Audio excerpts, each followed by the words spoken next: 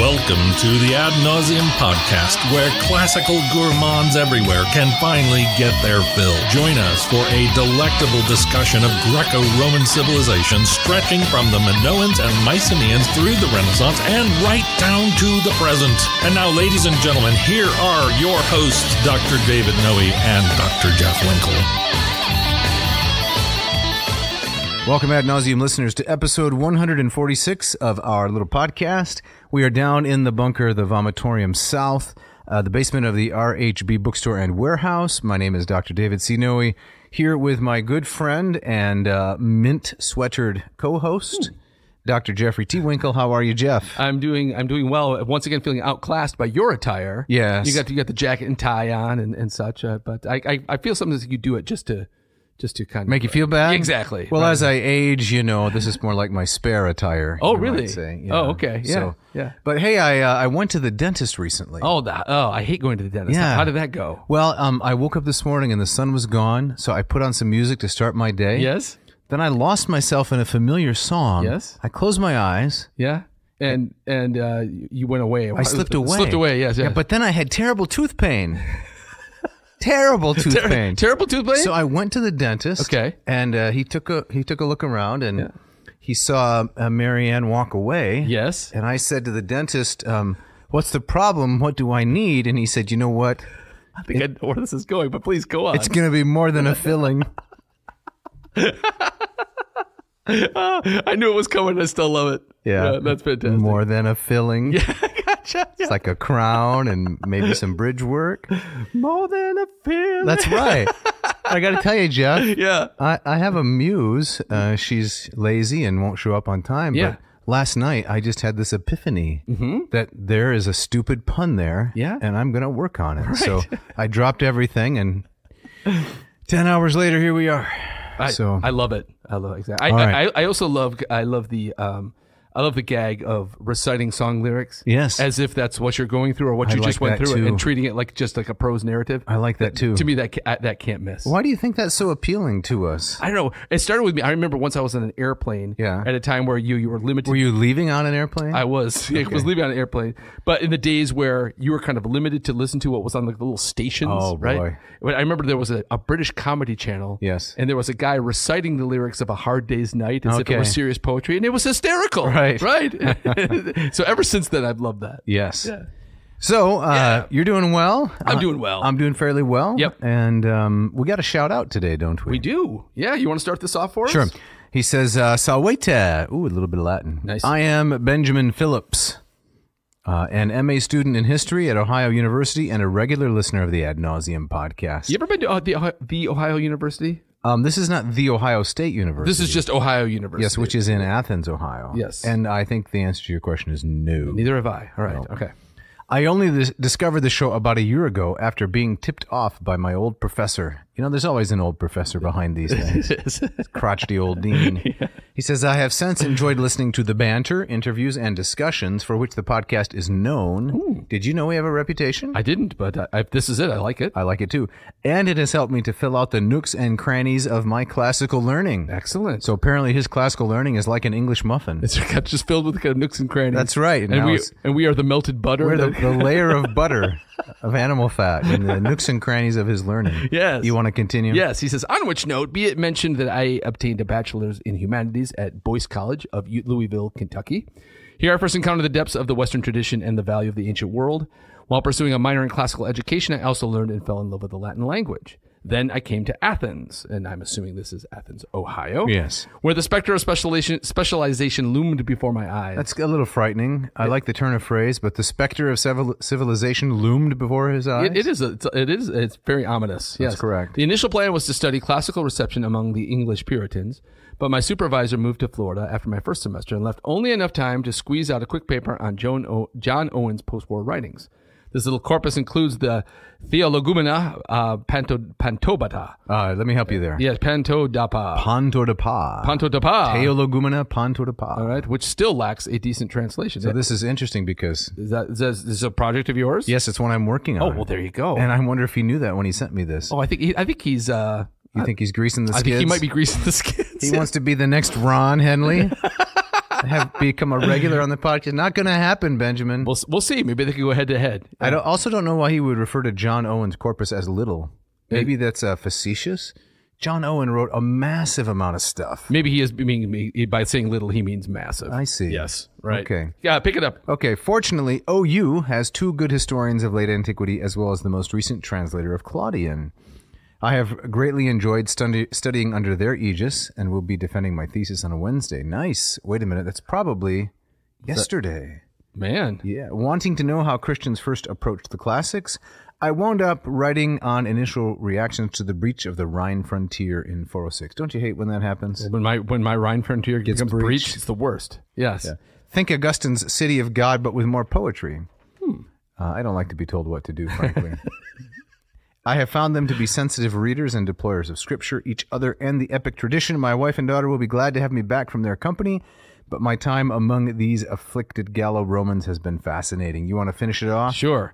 After this, I will be helping to start a classical classical academy in town. The prospect of teaching Latin, developing fa- faculty, and staying at my local church are all quite exciting. As is the longer commute and further opportunities to listen to your show. Yeah, isn't that nice? That is very nice. I I especially like the way that he ended this long autobiographical uh, description with a reference to us. Yes, exactly right. And looking that's what it's forward, about. looking forward to an extended commute because he can use the opportunity to listen to the show. Yes, and he says, so, uh, Valete, right? Is how you sign off, Valete Benjamin. So you got nice uh, Latin brackets to the whole. message. Absolutely. Yes. Nice job, Mr. Phillips. Yes. Thank you uh, for listening. Thank you for the shout out. Thanks for keeping the torch lit. Yes, I hope that defeat that defense of your thesis went well, and um, best uh, bona fortuna on the starting of the academy. Nice. I'm sure that he covered himself with glory yesterday. Awesome. Yeah, and maybe a, a little bit of chalk. It's potential. so, Jeff, what is on the menu for today? Uh, we are back to Mr. Marrou and his uh, history of classical education. You're talking about Henri Irénée? Um, Henri, yes, we are talking about Henri, and so we're back. Um, we're trying. To, we're going to try to pick up where we left off a few episodes ago, Yes. talking about um, Plato's role in all of this. Yes, we just had a plethora, did we not, of special guests on the program. Yeah. And uh, some great guests. So now we're back at Marrou and the history of education in antiquity, specifically Plato. How far does Marrou take this? Like, what's the timeline at, at when the, for the whole thing? Yeah, for the whole book. Where does Let it me get just to? check the TOC, as we call it in the business. You Yeah, know what I'm talking about? I know what you're talking about. The table of contents. Nice. Well, what does that say? Uh, well, this would be the section number 3 Mm-hmm. classical education and Rome, and the final chapter, chapter ten, the appearance of Christian schools of the medieval type. That's Okay. what's coming up. The monastic school in the east, its limited influence. The monastic school in the west, the episcopal school, the presbyterial school, and the beginning of the medieval schools. And then we uh, finish it off with an epilogue and the Lombard invasion. Okay. So, preludes to the Carolingian Renaissance. So, the Carolingian Renaissance, that's uh, 800 Charlemagne. So, I guess end of late antiquity and looking forward to um, Charlemagne. Gotcha. Right. So we've got uh, chronologically, we've got a ways to go. we got a ways to go. Did you bring any uh, snacks, any huggable portions to sustain us on the journey? I'm now regretting that I that I did not. Yeah. Yes. Right. But um, I got to tell you, in in kind of reviewing the the Plato section today, um, I I realized that I was under the impression that uh, I thought we knew a lot more about kind of the operations of, of Plato's Academy than we actually do, Hmm. and how much of, of these ideas of Platonic education uh, might be simply just theoretical, Right. and did not actually take place. Mm-hmm. I, I found that kind of just uh, just that detail alone fascinating. Could you say a little bit more about that? Maybe you can tell us what were some of your misconceptions or My, well, misperceptions. I guess my misconceptions were I think I, I made kind of the assumption that Plato's ideas about education were things that indeed were being practiced Hmm. at that time in the academy, and that these were things that that um, that he was teaching, and his ideals about kind of who would be taught, taught what were things that were actu- actually taking place. And I, Mm-hmm. I, I think I made that assumption um, that kind of tied those things together. Um, but from Marrou's text, uh, he kind of points out that we don't really know Hmm. that a lot of what Plato's ideas about education is certainly influential on what education becomes may not have actually happened in the way that he was describing them Got in it. the laws and the Gorgias and, and the. Republic. Yes. All right. So, uh, kind of along those lines, Mm-hmm. um, you know, Marrou tells us that uh, the academy was, in some ways, it was developed as as to be kind of be opposed to the sophists. right? Okay. It was not meant to be a commercial enterprise. Um, but it was more kind of thought to be a, a brotherhood, mm-hmm. um, and as such, a lot of the language around it seems to be almost like the mystery cults. So Okay. like um, you'll be invited into, initiated into the mysteries of, of the education. Or the Moose Lodge, Uh, the moose, yeah, or right. the Elk Lodge, The Elk Lodge or the Masons. the Stone Cutters. exactly right. Right. Yeah. And so there's there's you know talk about the ground being consecrated to the to the muses. Mm-hmm. Um, and so I, I, it's it's all within that context that I I was kind of mystified about a lot of the mystery that surrounds about what exactly it looked and sounded and felt like. Mm-hmm. Right. Yeah. So um, do you want to read a quote from Yes, I would like to. Yeah. So this is uh, from page 67, and uh, he says, "quote We have recently begun to obtain some idea of its structure, the it being the academy. The academy was a strongly built institution. It was not a commercial enterprise, but a confraternity or sect, and all its members were closely united in the bonds of friendship. There was still an emotional, if not an amorous, link between master and pupil. So this is a reference to a previous chapter on pederasty. Right. Juridically, like the Pythagorean sect, it was a religious association, thiasos, a brotherhood dedicated to the Muses, and after Plato's death, to the apotheosized Plato. A wise precaution, soothing the susceptibilities of a bigoted democracy ever ready to accuse the philosophers of impiety, as the proceedings against Anaxagoras and Diagoras and Protagoras had shown, not to mention the action taken against Socrates and still to be taken against Aristotle, sometime between 319 and 315, and uh, Theophrastus, who was uh, Aristotle's successor. The cult took the form of festivals, arranged with the utmost care in a series of sacrifices and banquets. Now, would this be like a? I'm editorializing here. Would Yeah. this be like a like a fall festival? The philosophers carving pumpkins. And yeah, I like the thought you of think that. that's what it would be, or Yeah, exactly. uh, like a you know a music festival? What do you think he means by no, festival? just bobbing for apples. Okay.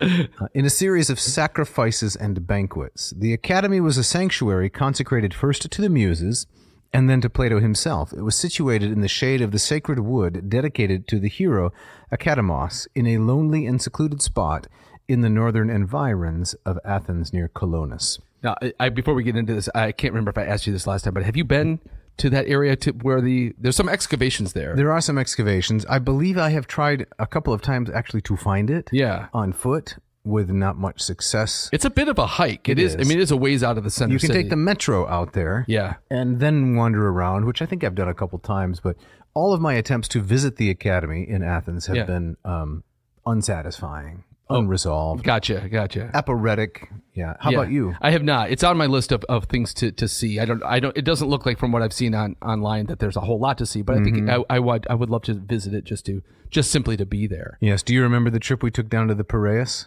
I do. Yes. Exactly. Walking Why do the you shore. say it that way? Because it was not pleasant, as I remember. Oh, I don't have a terrible memory of that. It was. Well, the standards of hygiene in the particular uh, subway car that you and I were sandwiched into well, that part left Yes. more than a little bit to be desired. Okay, now okay, that part of it is coming back to me. I was thinking more kind of uh, walking along the shore and seeing the ships nice. out in the water. That was nice. But it was a sunny Sunday afternoon, if Yeah. memory serves. Yes. We also that day visited um, the first uh, cemetery of Athens, right? we saw Schliemann's grave. Where we saw Schliemann's grave and lots of other really fascinating That was, tombs. that was fantastic, Mm-hmm. right? And all of it, um, the best part, no students. you're gonna you're gonna have to explain to all of those former students of ours who are listening to the podcast why were there no students, Jeff? Oh, but but this was kind of our own free time, right? Right. Students were off doing their own thing, but uh, we, we we dealt with them uh, soon enough, right? But to get back to the quote here, Yes. um, I, it seems like Marrou is suggesting that uh, the kind of the whole religious aspect may have been a kind of cover. Hmm. Right. So I mean, how? I mean, there's I mean, lots of questions surround. You know, what did Plato actually believe about Right. the gods? You know, what did he accept and and and, and what did he reject? Yeah. Uh, but Marrou seems to suggest is that Plato learned his lesson from Socrates is that we at least we have to have kind of the sheen of religiosity, or Mm-hmm. Right. else they're going to come calling. That does seem to be the suggestion. I've always taken uh, Plato to be, if not a monotheist, absolutely a henotheist. Yeah. And this is the way that I have explained him to students, right? There's a strong line of almost monotheism in his dialogues. For example, in the Euthyphro, there's a clear attack on the inconsistencies of polytheism, at least as um, popularly conceived by people who read Homer as a you know theology textbook. yeah. now maybe you'd say it's more like henotheism, you know, one supreme God Right. with lots. I'm not saying this for your benefit. Yeah, yeah, but, yeah, yeah. Uh, one supreme God with lots of subordinates. I think that's the Max Muller interpretation, Okay. Yeah. uh, if I'm not mistaken. Uh, German 19th century anthropologist and, and student of uh, religion and mythology. But then students are usually surprised when they find out who is that one supreme God because you would naturally think it's Zeus. Right. Right. But it's not. It's Apollo. Yeah. Yeah. Yeah. Yeah. Uh, if there's any God in the Platonic dialogues that has a kind of strict justice, it's Apollo. Right, right. Yeah, no, I it's a really interesting question. I mean, certainly, I think that's uh, what you just said explains why Platonic thought uh, merges with early kind of awakening Christian thoughts uh, Yes. fairly easily because Right. it's, uh, it's adaptable to to monotheistic ideas. But I do think you know uh, Plato is hard to pin down. You know, we'll, we'll talk about how one of his issues with Homer was that he didn't like how Homer portrayed the gods. Right. it was disrespectful to the to the gods. Yes. So um, so what does that mean? Is is he is he kind of he believed in the traditional gods, but kind of saw them in a very different way, or did, was he he's saying that this all can be kind of lumped together in a kind of pure monotheism? As the, uh, they're all kind of represented as the good or the one. Yeah. I think it, I mean, to give a preliminary answer, I think it's more the latter. Yeah. And I think the proof for that is in the Timaeus. You know, the Timaeus and the laws are the two last dialogues. And Mm-hmm. in, the Timaeus, he has more or less dropped the uh, charade of actual um, interlocutor with Socrates. right, right, The right. Elenchus is not there. Socrates is giving long, long speeches Yeah. which are highly programmatic in nature. But if memory serves, um, I didn't read the whole, t- reread the whole Timaeus before you know this um, this episode. He drops the traditional identifiers for the gods, and he uses terms like the demiurge and the god and so forth. Yeah. So I think he has, you know, he's shed traditional terminology Yeah. by that point. Yeah. Okay. Yeah. I, that that makes sense to me. Yeah. So, um, whatever this was happening Mm-hmm. in the academy, or, or at least in, in Plato's ideal for or for what he thought it, it should be, um, it's clear that at some level he thought this was a, a, a very important concern for the state. Yes, And, absolutely. And that uh, the ultimate goal of kind of extended education, um, um, you know, kind of going beyond into what we would call like, graduate school, was to produce these philosopher kings Absolutely. that we see in the in the Republic. and that we spoke of uh, to some extent Yeah. in the previous episode on Right. Marrou. Right. The different persons all over the Mediterranean who went out kind of like philosophical missionaries and tried in their various city states, uh, sometimes ending up in opposition to one another, in competition and even war, but tried in their various city states to put into practice Plato's political program. Yeah. Way yeah. too much alliteration in that phrase. I did not intend it. Oh, nicely done. That's yeah. one of my least favorite uh, figures of speech. Yeah. But- Okay, Jeff. So as we go on, Yeah. I, I noticed that Marrou makes the point, first of all, that this education, state sponsored, state organized, at least conceptually, was uh, parallel, Yes, but not co ed. no. So can you explain the difference? Well, I mean that I think it's it's striking that uh, Plato uh, thought that both uh, boys and girls should be educated, but not exactly in the same way. Now, wait a minute. I thought that all ancient people were, um, you know, what? What's the word I'm looking for? Raging sexists. Yes, Right. chauvinists, unredeemable chauvinists. Right. Is, that not true? It, I don't think it is true, Hmm. right? And- But and again, uh, we uh, we've we've talked at length in on other episodes about um, what kind of lenses you apply to the past Right. to make these kinds of judgments. But um, I would say again, from a modern lens, this is kind of unexpectedly uh, progressive. Correct. Someone might say Women Yeah. are educated, men are educated, or Yep. boys are educated, girls are educated, but not necessarily in the same class. in the same way, right? Right. So Okay. Um, I mean, see, I saw throughout this chapter is know Marrou is talking about. Uh, Plato himself seems to kind of wrestle between kind of the ideal of education and also kind of the practical nature of education. I mean, it's something that that goes on to this day. Right? Mm-hmm. Absolutely. Mm-hmm. What what is the purpose of education? So I think a lot of the things that he pro, that he said that young boys and young girls should go through had a kind of practical function. He's looking Mm-hmm. forward to kind of the kinds of roles they would play in the state. Right. And, and I think a lot of that kind of uh, explains why it's parallel. Okay. Yeah. So, shall we talk about uh, elementary education in particular? Yeah, I was struck by you know two of the things that that Plato says should be foundational for um, uh, kind of elementary education are gymnastics and music. Okay. Which uh, it struck me. I don't know how how it was when you were growing up, But those two pieces of I had both of those. I had gym, Okay. and I had music, but they were also probably the two subjects that were probably the most ridiculed by the kids, or the thing taken least seriously. Oh well, music definitely. Yeah. Uh, until fifth grade, when people sorted themselves into band, right? Right. Fifth grade, sixth grade, there was the the band that you sorted into. Right. Um, gymnastics or the gym class, it was what everyone loved the most. But I don't, I don't think there was ridicule. What was your I, th- I think. Well, in terms of what deep dark elementary secrets are you going to no, I, reveal on the I think it, it was kind of this notion of, um, well, it was a lot of dodgeball. I remember Yes. that. Did you play any um, hockey with the tennis ball? Yeah, oh, we did that too, right? Yeah. But I mean, there was always this sense of like, uh, yeah, this is fun to kind of you know get out and, and mess around a little bit, but this isn't education. Hmm. Right? The idea that um, you know you, you- you've heard the old saws like, um, um, you know, those who uh, those who can't do Right. teach, and but those who can't teach teach gym. Oh, I've never heard that. So, mean, it's always had kind of that. I think that place of of ridicule and pop culture, and Yeah. that certainly had kind of bled down to my experience. But Huh. and then then uh, yeah, For me, it was just an escape from the doldra Oh, of yeah. the classroom. I- I get that, too. You can go run around, chase each other, and hit each other with jump ropes and things for an hour. You know the jump rope with a little plastic sleeve on it. Yes, it's I like a really hard straw. exactly whip that thing around. Oh, that was painful. right. So, but I, and then yes, exactly. Music education before we got into band, and I would even say even after we got into Yeah. band, it was it just seemed so kind of rinky dink. You played the blocks. You played the triangle. exactly. Right. Right. The recorder. Right. Let's uh, and then you know trying to get third graders to appreciate Bach. Yeah. Right? It's, it's not going to happen. I that I was never exposed to Bach in third grade. Oh, I think I could have gone for that. To my knowledge, the music instructor never played Bach uh, Hmm. for us. It was more like um, I don't know, American folk songs, Oh, okay. All right. Johnny Appleseed kind of stuff. Gotcha, gotcha, right. So I just, I just, that just struck me as kind of for you know in Platonic thought, Mm-hmm. the, the pillars of early education were things that when I was growing up were certainly not. I Not did not digest them as as pillars to my Yeah. education. Right. Huh? You want to read the quote Yeah. from uh, page seventy here about gymnastics, a sound body, but it, it's not centered around the agon or the competitive spirit. Yes. So Marrou writes, says, as regards gymnastics, Plato spoke out violently against the competitive spirit, which, as I have remarked, was already wreaking havoc on sport in his day. He aimed at restoring it to its original purpose as a preparation for war. And for this reason, the branch of pure athletics in which he was chiefly interested was wrestling, the immediate preparation for combat. So again, it's gymnastics as in a way that would serve the state, not competition for its own sake. Yeah. So, what would Plato think about uh, March Madness? I think he would think it's absolutely ridiculous. Speak out violently against the competitive spirit. Right, unless you're bouncing rubber balls against Sparta, right? then what's the point of this? So it could it could be dodgeball if if the ball uh, when it arrives detonates. Yes, or right. something like that. right, right, right.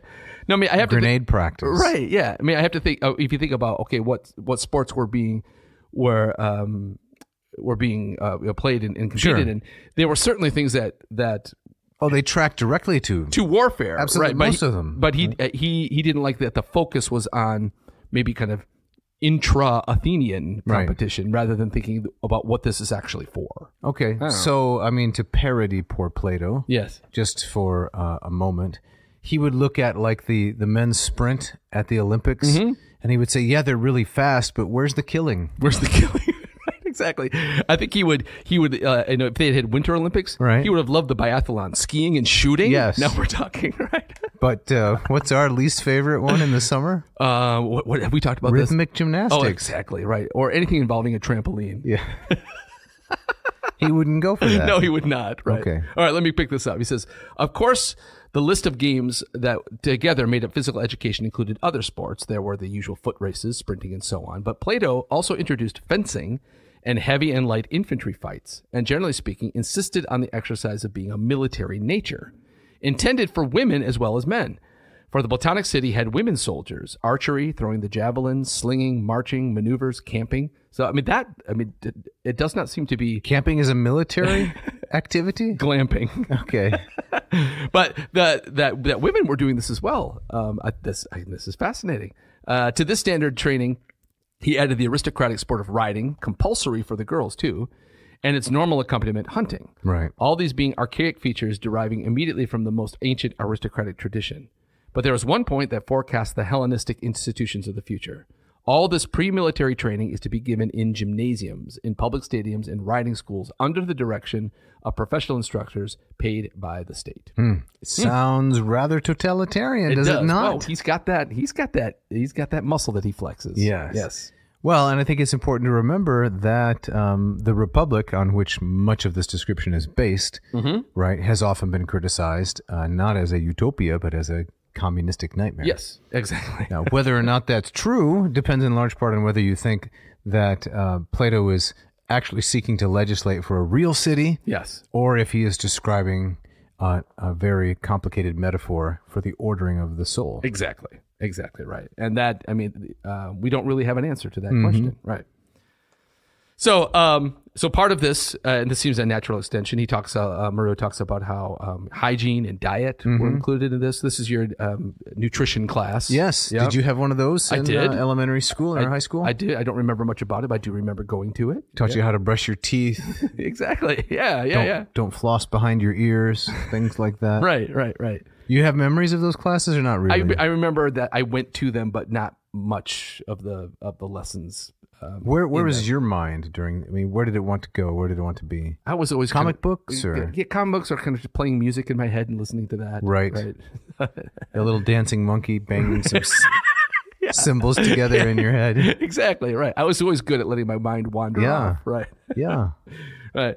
Um, but yeah, it seems that you know Plato's idea was to have um, his education being in tune with the, the advances in medicine Mm-hmm. of the day and, and, and incorporating that, and then and So also quite, music. Quite progressive on the whole. Yes. You might say. Absolutely right. So I mean, uh, it, it strikes me as, as so much of what we're talking about um, is is stuff that we recognize in our own education. Mm-hmm. Right. This this stuff becomes embedded, um, but without maybe the totalitarian Right. hammer coming down. Right. Well, we talk about, you know, the the well-rounded child. Mm-hmm. I guess maybe not in the context of obesity troubles, but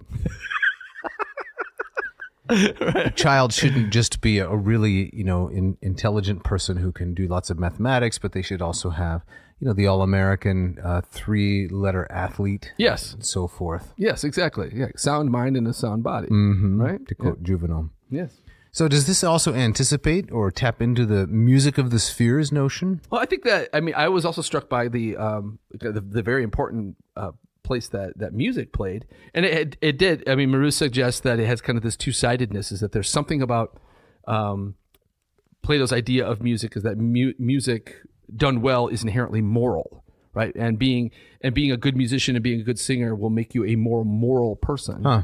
Uh, but at the same time, he's also thinking, well, we have lots of these festivals and, and processions in this in the state that need accompaniment and they need choreographers and they need dancers, and so Right. what better place to prep them for this? So again, it's that ideal mixed with the practical. So do you think there's anything to the Platonic notion that um, music is inherently moral? I do. I, I mean, I, I'm surprised. I- but tell me more. No, I think uh, um, I think what it can taps into is um, I'll often uh, if I get into like a theological discussion to people and, and we start getting around to kind of questions of the, like the proof of God's existence. Okay. For me personally, um, the way that I can be moved uh, by music in a way that I cannot explain, Hmm. I will often point to as as kind of a, a personal proof for God. I did not know this about you. Yes, absolutely. So I think so. Music for me has, has always been at its best a, a, a mystical experience. Hmm. You know, it, I mean, not not all. Um, not all music, of course, does that. Right. But I think music at its, best, its most powerful, can tap into something. I love that idea of the music of the spheres, you know, Yeah. whatever that might be. Huh. That, that music can kind of transport you to something transcendent. Yeah. Yeah. Yeah, like is it the great Australian uh, rock band Which what one? Tears for Spheres? Aren't they from Australia? I think they were English. Oh, they're in, I'm Yeah. thinking of INXS. Yes, that's right. Right. right. Very similar though, right? Yeah, same era. Yeah, exactly. Yeah. Well, you know, you're in good company with um, the late Reginald Foster.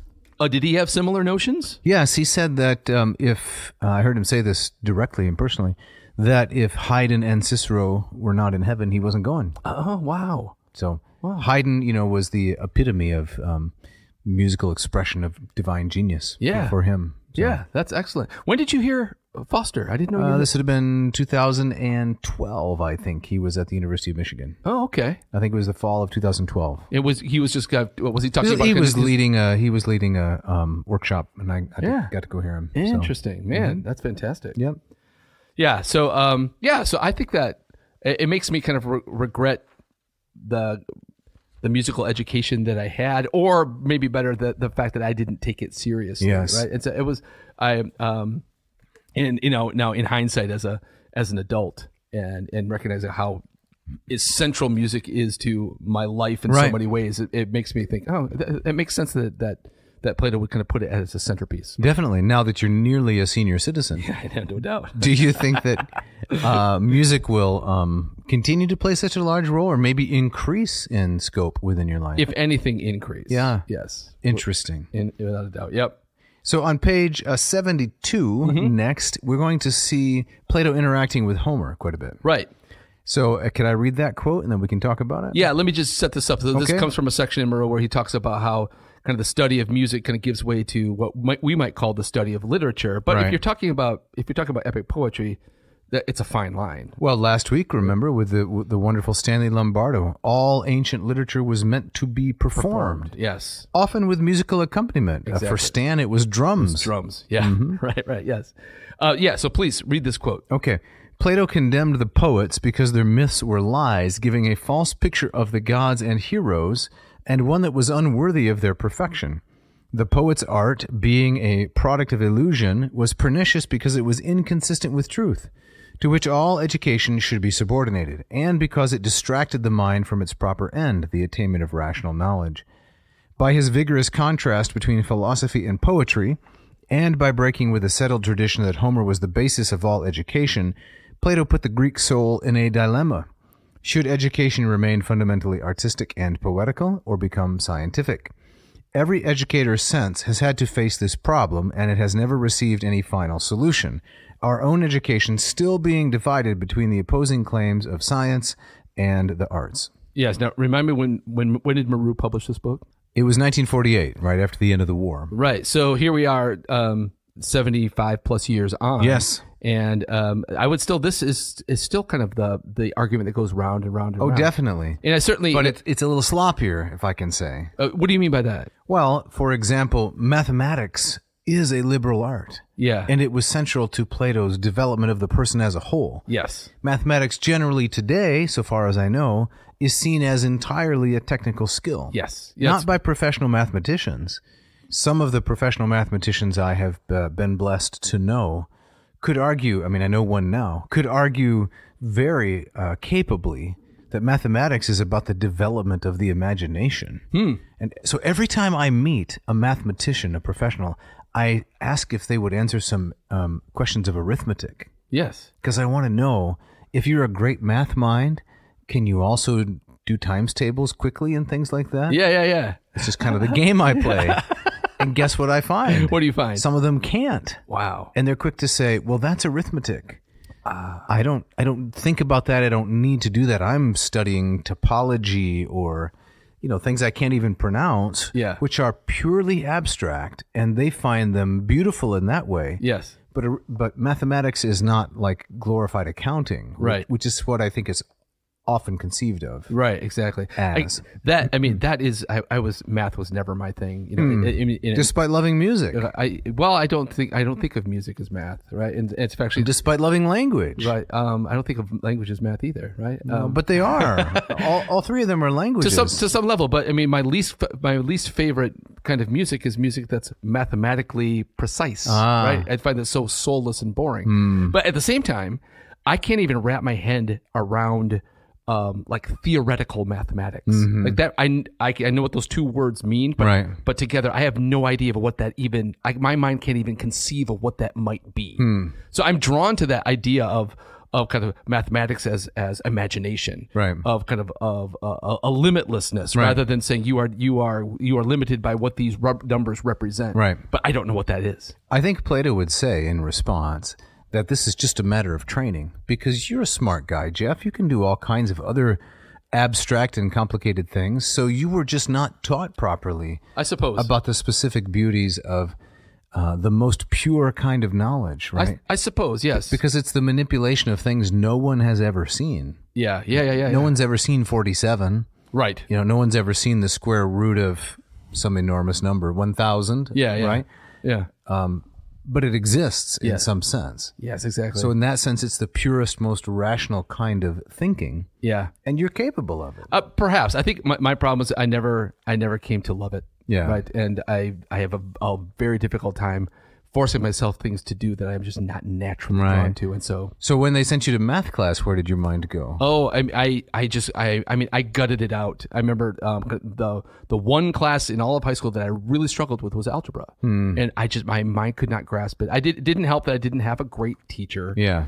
But um, I remember just kind of just forcing myself, killing myself just to just to to get a decent grade in that, and then being and and, and convincing myself I was happy enough with that. But I never came to, to love it. I mean, what was your experience with math? It- Well, I was just going to say, um, I have one really uh, interesting memory from algebra class, I think, but I loved math, um, and for a while had some minor ability, mostly because my particular school, a very small public high school, didn't teach hardly any languages, literature, and things like that. Oh, okay. So the only way to get any kind of intellectual satisfaction was to pursue math and science. Yeah. So I did, and I enjoyed it. But I was in algebra two or something, and I'm working out a problem, and I got my pencil, and I'm developing a little rhythm, you Yeah. know, of moving along in terms of the sounds that the pencil is making, and I'm really pleased as I'm making the marks and so forth. And the, the guy that's sitting to me, sitting next to me at the table, he can hear kind of the percussion instrument that I was trying to make with my pencil. He Yeah. says, um, "You're really having a good time, aren't you?"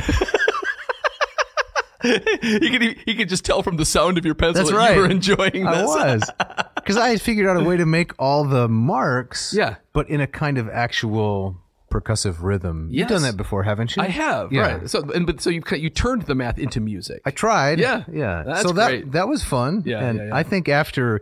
You know, when you're in eighth grade, ninth grade, the last thing you want to do is stand out. Yeah. For something like that. So I think after he said that, I stopped doing it. I see, man.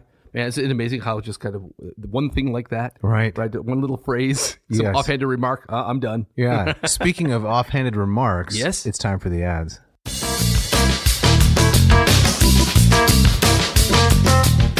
This episode of Ad Navseam is brought to you by Ratio Coffee. Ratio Coffee, found at ratio coffee.com. You can find their wonderful products, um, and I'm just going to jump right to it. Yes. I'm really excited about this this uh, this Ratio Four that's coming Right. out. We've talked at length about the six and the eight. Yes. um, but they've got this they've got this wonderful machine coming out, um, and uh, they advertise it as the first affordable and beautiful half batch pour over coffee machine. Um, the four is their smallest brewer yet, an agile, sleek machine that puts out between five and twenty ounces of coffee per batch, enough for one to two reasonably sized cups or one big travel mug. Yes, I would just like to point out that when it says between five and twenty ounces of coffee per batch, Yes. I'm pretty sure that you can adjust it to the amount you want. Yes. it's not like you have to guess guess. each time. What's it going to be? Right. seven, I got seven. You have to have a number of different containers ready. right.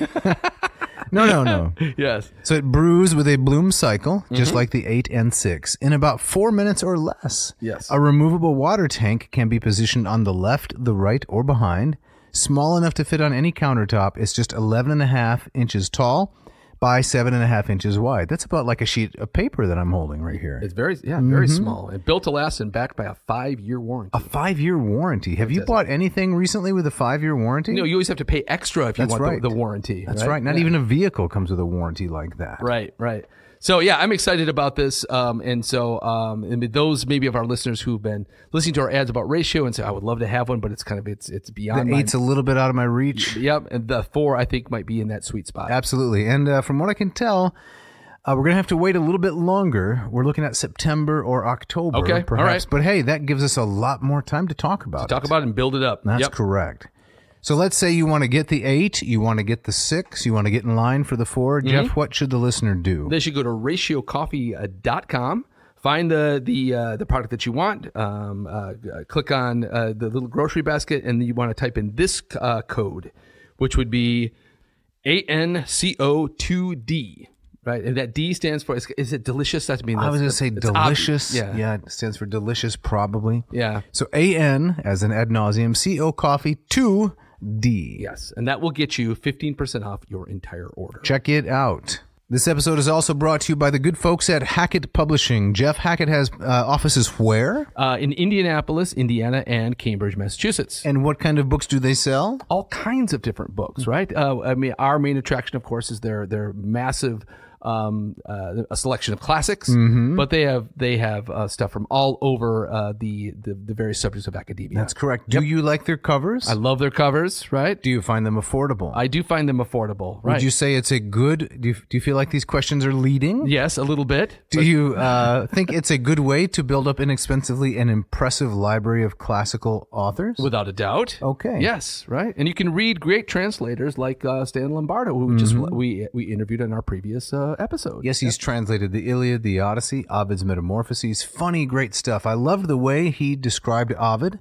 Uh, Ovid is the poet at play. Yes, exactly. That nailed it, I would say. Yep, exactly right. Yep. So, listeners, hey, if you want to to, to dip into this this um, this vast pool, uh, go to hackettpublishing.com, h a c k e t t publishing.com. Search through their vast catalog, and you will be astounded by how affordable this stuff is. Especially if you are a student and you're looking at things uh, like textbooks. Um, the uh, this is the best place to go. Yes, and I'd just like to point out that when we first conceived this podcast, and we went to these folks and we said, "Hey, we know we've done a couple episodes, we got a thousand downloads or so. This was the fall of 2020. Mm-hmm.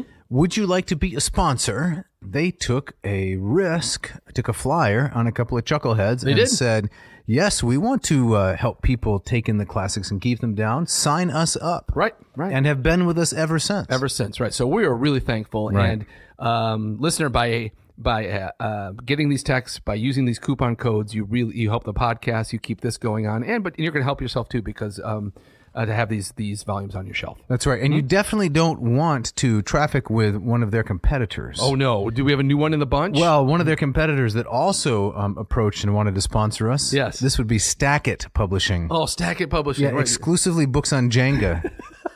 that's it. That's their whole. Did you remember that? That game with the uh, Right, you you, pull out the little piece of wood. You try to keep it from falling. That's right. correct. So their their entire Their catalog, entire catalog is Jenga-based books. Jenga themed. Right. right exactly. Oh, that's how to terrible. how to stack it part one, stacking for dummies, things like that. right. Right. Yeah. yeah. S T A C K E T T Stackett Publishing. That's not where you want to go. No, no, no, no. But to go to hackettpublishing.com. Yes. Much better. Right. And what will they get when they enter the coupon code Jeff? If they enter the coupon code AN2024, that's AN Ad Navseam plus the current year, that will get you two amazing things 20% off your entire order and free shipping. Check it out.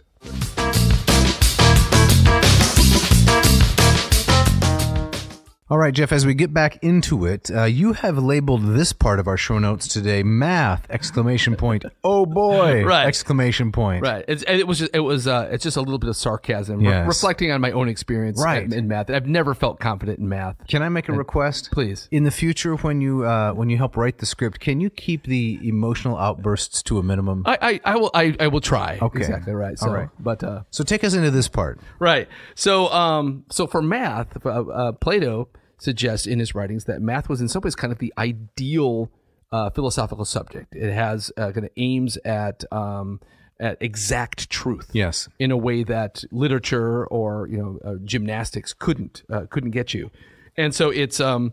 He, he's talking about math uh, in, in you know in the context of his famous allegory of the cave. Um, it's mathematics as uh, is the way that you're going to emerge from the cave and stand under the kind of the philosophical sun of, of pure goodness. So we use the math to get out of the cave. We do. to see reality as it is. Right, Huh. exactly. Yeah. So maybe it's math that teaches us that there is something as objective truth. yes, yeah, I, I- Interesting. I think so. I think that's what, what Plato is, is after, and I think that's why he he places it at um, at kind of the top of the heap. You Hmm. have to you have to go through all these levels of math. You have to master math before you can even begin the, the kind of the contemplation of of pure truth. Right. So you're not necessarily going to be a, a literature master, Right. or a history master, or even a stair master, but a math master. A math master. so Yep. was this any part of your own education? Can you remember being in seventh grade pre-algebra or doing your times tables in fifth grade? Mm-hmm. Yes. You know, did you race with the other kids? Did they ever have races? We did. I loved math because of its competitive nature. You liked that part of I it. did. Who right? could get to the answer fastest? I like that a lot. Really? That just Yeah. stressed me out. Oh, really? Yeah, exactly. You were the kid I always beat. I would walk past you on the way up to the front to get the you know the little paper certificate that Yeah. said. I was the kid who was annoyed by your rhythmic tapping of your pencil. yes.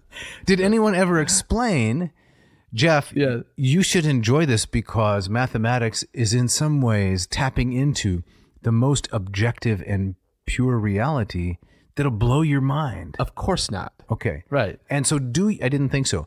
Do you think that would have helped? Yes. Your appreciation. Right. You know what I what I, I think one of the things that was I mean this is not just math, but one of the things that was missing in my own education was when I went into these classes, there was never any kind of justification Yeah. from the teacher of why we're doing this. Or So- discussion of ends and purposes. Exactly right. So, and this is why I'm, you know, as a teacher of the humanities, uh, I, it can, I think it behooves me to kind of give a, a constant defense of the humanities. Yes. uh, just kind of given the, the state of uh, of the culture we're in. But I think that's important. Is is in uh, at the beginning of of a course to say.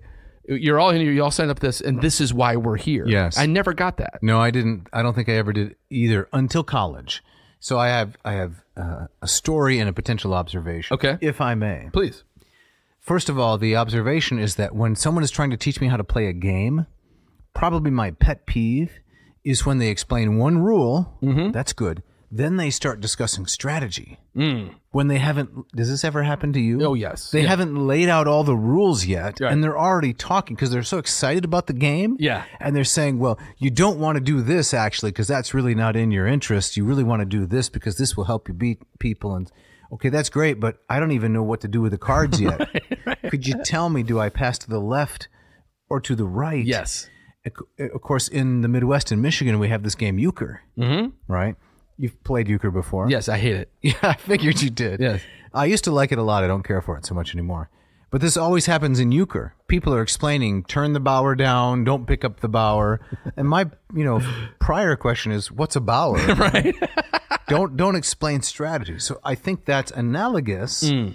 to the way that some of these subjects are taught. Yes. They're okay. telling you how to manipulate it, but nothing about the purpose of the manipulation. Right. Exactly. why would I want to do this? right. Exactly. Yeah. Polynomial. Right, right, yeah. It was just kind of this assumption that this is the courses that you take, and they are important because this is, these are the courses that you take. Exactly. Right. And now the story. That yes. was- Oh yeah, yeah. The yeah. observation. Yep. Yep. Um, it was undergrad philosophy class at Calvin Ney College, Yes. now university. And John Hare, my philosophy professor, said, "You've never seen a circle." Said, wait a minute. There's Mm-hmm. Come- something crazy going on. I've seen lots of circles, Exactly. sir. What did John Hare have for lunch? Yeah. I've never seen a circle. He said, no, no. What What is the geometrical definition of a circle?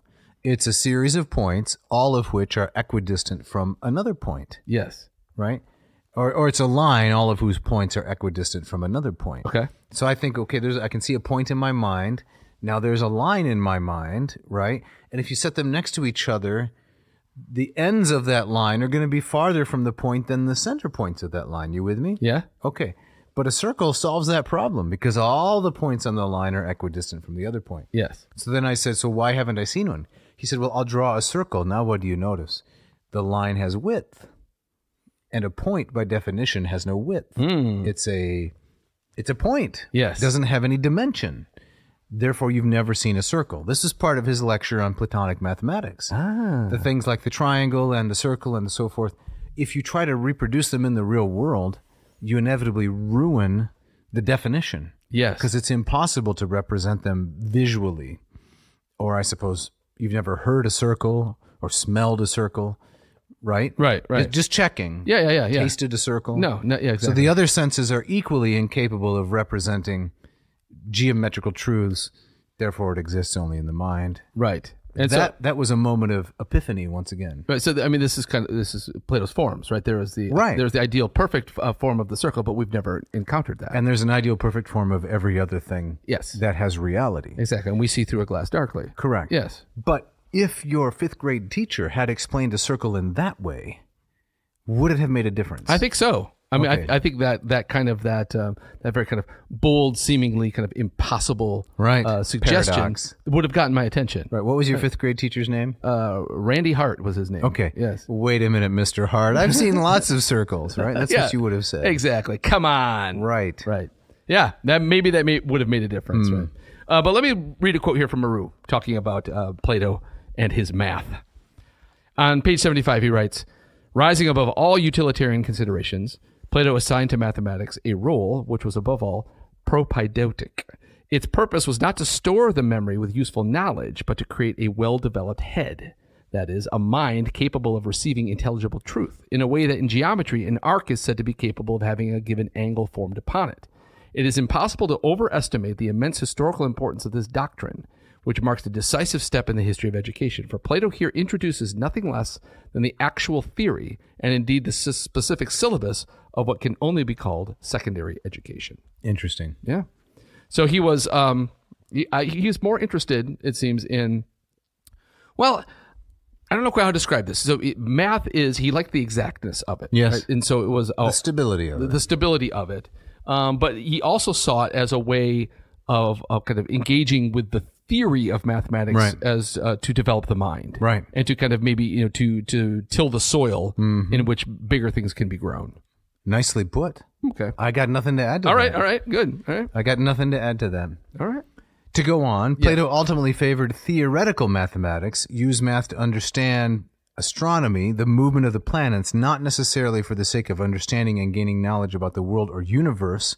So, in other words, mathematics is not a means to being an architect. Right. Although it is that, it's not only that, Yes. but to pursue the calculations used by the demiurge itself. Right. So the math. Oh, math is the language or the, the calculations of God. That's correct. Yeah. So I read a very fascinating book on this subject um, by a person that I don't think is a theist, a British um, astronomer named Martin Rees, called Just Six Numbers. Uh, I read this maybe 20 years ago. Okay. It's about the fine tuning of the universe and the six uh, constants that are necessary for um, the universe itself to exist, and how extreme is the fine tuning of these six numbers. Yeah. Wow. So I mean, if it's off by like one one decimal place in a, a, a number too large for me to pronounce, Yeah. nothing exists. That's incredible. And so this is I don't think the man is a theist, maybe, but this is one of those arguments that Plato would have loved. yes. Yeah. absolutely. he could really sink his teeth into. Right. that. Right. Right. Exactly. And by the way, if any of our listeners are interested in that sort of thing, I mean, the mathematics in it was beyond me, Mm-hmm. frankly, but I could still get it because the guy wrote well. I suggest you read that book, Just Six Numbers. It's fascinating. That does sound really, really interesting. Right. But what about the practical aspect of mathematics? Well, I think you know, Plato certainly said that you know, everyone, um, boys and girls, men and women, should should be trained in math. And there was a place for uh, yeah, the practical notions of math of, of doing sums and you know going to the market or whatever. But uh, um, I think Plato was ideally was looking for um, his upper level students uh, an aptitude to kind of grapple with the higher mathematics because he, he saw that as the supreme foundation for kind of the the highest of philosophical pursuits. Okay, Yeah. I can see that. So, Jeff, we're on the downslope here. Yes. You might say we're about to get on our Ziffy Whompers and uh, take them back to the shed for storage. Yes. Uh, do we want to say something about the sophists and uh, how they differed from Plato in terms of, you know, the accessibility of education? Yeah, I think that um, so the notion the, the sophist would take anybody who would come, and if you had enough you know, drachma in your pocket, you, Right. you know, come on in, we'll, we'll teach you. First come, first served kind of thing? Yes, and I think Plato, Plato saw that. Well, no, education at some level is for everybody, but he was also very interested in aptitude. Yeah. and not everybody is going to make it to the upper levels. In fact, very few people, uh, a, a select elite few, would make it to the highest levels. So, what do you think of that idea? Do you think that that could ever be reinstituted in a you know a, a state like the state of Michigan or in a political state like the United States as a whole? And if so, ought it be? Well, I, I think to some degree that does exist. If you if, if you think about, um, I mean, I think these notions are kind of are, are crumbling, but the idea of the number of people who could um, make it into or get a a full ride in a um, uh, particle theory PhD program at MIT, Right. that's a very short list. So Yeah. I mean, maybe that's that's the corollary. I mean, I do think this. I think Plato would would have he would have um, flinched at the idea that college is for everybody, and that's certainly kind of the idea that's out there right now. Mm-hmm. I think he would say, well, yes. I mean, elementary and secondary education, maybe up until you're you know 17 or 18. I think he would have said, okay, you know, high school, I get it. But this idea that everyone should go on to college, I think Plato would have said no. And I think that's where I think he parts with kind of a modern sentiment. Okay. Yeah. I mean, is that your sense? Or I mean, Yes, yeah. I eh. think that's right. But I was asking more about what you think. Oh, I see. Should there, should there be a, a basic um, test of literacy and numeracy, and should people be compelled past that to continue learning? From my experience, not you know, not to prejudice your answer, Mm-hmm. um, I went to high school with so many people who had no interest in it whatsoever. Yeah. and for them, it was a kind of torture. Sure. My own interest was greatly diminished by some of the ways that it was taught. But I'm pretty sure had I but been taught more of the things I enjoyed as I was in college, I would have consumed it voraciously. Yeah, yeah, yeah. But that wasn't everyone's experience. Right, right. Um, no, I, I'm kind of. I think I'm. I'm with you, and that's the. Uh, I'm in that same boat. Okay. I think when I went to high school too, I, I would. I see the the probably a, a solid, a solid majority of two thirds Mm-hmm. of students were were those that I can't wait to get out of here, and I'm only here because the law says I have to Yeah. be here. Yeah. So this is the you know the the famous maxim: education is wasted on the young. Right. That's where that came from. right. Yeah. Exactly. Yeah. So what's the solution to that? I, I honestly I have no idea. Hmm. I don't know. I mean, I think my my eyes have have, have been open to different um, ideas about education, teaching at a community college Yes. over the last seven to eight years, and And you'd say in a good way, ve- in a very good way. You I'm- become I'm- more broad. yes, and I, I've come to a, a great appreciation of of kind of the more kind of practical Right. and directed elements in education. I really like that the school I teach at now says that okay, you're going to get your welding certificate. We still want you to take a, a class in literature. Yeah. Right. And so the, I think that recognizes you're going for something very pointed, very practical. Um, and you may not, you may kind of fight against it, but we still think you being kind Hmm. of, you know, having a well-rounded education, it should still be part of the, even a program like that. Right. Yeah. Okay. So Plato divide. Thanks for that. Plato divided up the stages of education. Ages three to six was uh, kindergarten, Kind, yeah, so his, to speak. his yeah. preferred German term. Yes. Ages six through ten would be primary. Mm-hmm. Ten to seventeen or eighteen, secondary. yes, exactly. and what were the consecutive curricula according to Marrou So- during those times? So once you kind of reach age ten and you were in that secondary, uh, you would there was a progression. You would start with literature, and you would progress to music, and then you would it would end up with mathematics. Okay. And so I, again, mathematics on the top of the heap. As I we see. Were talking. Yeah. and then eighteen to twenty, mandatory military service. Yes. Right. like South Korea, Like South Korea, like Germany. Yeah. Um, yes. to put in some time. Yep. Shall I read the quote on page uh, seventy-six? here? Please. Yes. And then the higher education really began, but there was no question of going straight to philosophy. For 10 more years, this would be from ages 20 to 30, mm-hmm. the student went on with the various sciences, but at a higher level. So that by developing a wider viewpoint, by coordinating and combining the various branches, the mind gradually developed the faculty to detect the unity behind their mutual relationships, the nature of the fundamental reality from which they all derived. Right. Ten more years. Yeah. Right. It's like a med school, but without the Mercedes. Exactly. And my sense from for Plato, this would, again would be an elite few, where for the vast majority of people, once you're done with your secondary, you finish your military conscription, and now you you enter you know public life, you know, Yeah. as as most people would. But yeah, ten more years, and then I, I this idea of that part of that those ten years is is yes doing more math and and, and such, but also trying to kind of see how everything is connected Yeah. together, how how you connect the dots between all of these things you've been learning. The whole uh, ball of spaghetti. right? Yes. What about age 50? What happens then? And this, I, I like this 'Cause that's where we are, That's where we are. So he said, at, at age fifty, uh, one might finally have the necessary foundation to um, uh, you you struggled with. You've you've kind of getting past all the temptations of, of of of contemporary life, and then you might be ready to start the contemplation of pure goodness. Now, I have a problem with this a little bit. Okay. Because even though this seems like it may be true, if I remember from Aristotle, age 49 is a man's intellectual peak. Oh, is that is that what Aristotle Right. says? So then you start going down the other side, right? Yeah, right. So you will be as smart at age uh, 58 as you were at 40. And by the time you're quite old, you're, you know, you're back to infancy. ah, yeah. So if you can't contemplate the good until you're 50, that's a year after your intellectual peak. yeah. You have the downward slope for the contemplation of pure goodness. According to Aristotle, maybe Right. Aristotle should have followed, uh, you know, Plato's uh, you know, Okay. diet and hygiene regimen. I to suppose. keep it sharp, right? You're saying that Aristotle was on that metro car from uh, Syntagma to the Piraeus on a sweaty Sunday afternoon in January? that could have been him. Oh man. Oh man. Right. And so we, we kind of end up where we started. Okay. And so to, to what degree was this um, actually practiced? To what degree is this uh, was an ideal? I mean, Plato comes around uh, to the ideas that uh, this notion that he maybe tried these ideas in Sicily and failed. Um, and he comes around saying that, well, maybe this kind of education isn't for organize, organizing the actual city, but organizing the, in his phrase, the city within you. Yeah. And like like you were saying, is it is uh is the republic actually about a republic, or is it about the architecture of the soul? Do you want to read that final quote Yes. that we have there, uh, beginning with uh, "In the end"? Uh, Yes. Plato perceived. I think this is page seventy-eight of That- Marrou. That is correct. So he writes In the end, Plato perceived, perceived the truth about his own nature.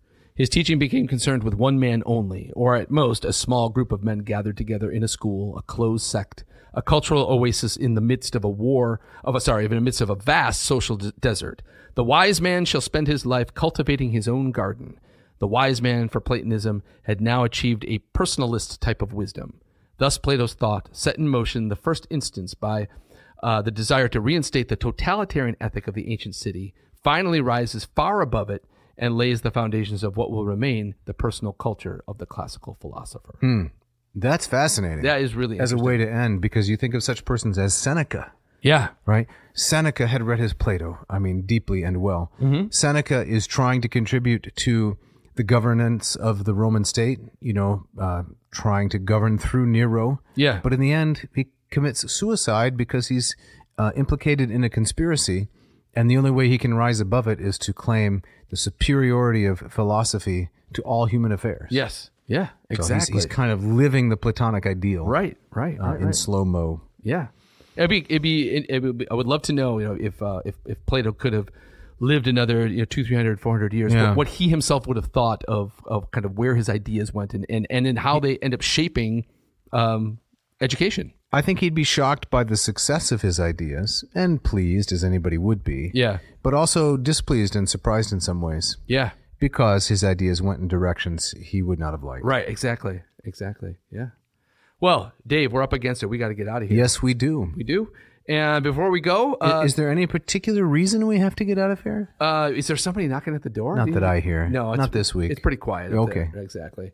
Um, but before we go, uh, tell us a little bit about uh, the Moss method and LLPSI. Would I would love to. So, Moss Method for Greek is a program I've developed to teach you the Greek language. Go to mossmethod.com. It's a great value. Check it out. Excellent. And LLPSI, if you want to study Latin, That's right. Go to latinperdiem.com slash LLPSI and you can learn Latin with me using the Hans Orberg Lingua Latina Per Se Illustrata textbook. It's a good value. Jeff, Yes. we got to thank some people. Yep, we got to thank Mishka, our wonderful engineer, um, Ken and Scott for the great music you hear Yes. throughout the, the throughout the episode. And if you want to get a t-shirt or some other merch, go to adnavseam.com, get a Quinokent Dokent t-shirt. Jeff, what Yep. is on tap for next week? I, I think let's continue this Marrou. All right. let's let's let's dive into chapter seven. which is Isocrates, one, of, one of Plato's competitors. Yes, sounds excellent. sounds exciting. And Dave, you have our gustatory parting shot. Yes, I do. This is from someone, a French guy, Francois de la Rochefoucauld. It's the best I can do. Not bad. He, uh, 1613 to 1680. I don't know, some crazy French moralist philosopher writing kind of guy. Okay. And this is what he said. I don't understand it. To eat is a necessity, but to eat intelligently is an art. Okay. What do you think, Jeff? I have to contemplate that. All right, you think about it. We'll see you next week. See ya.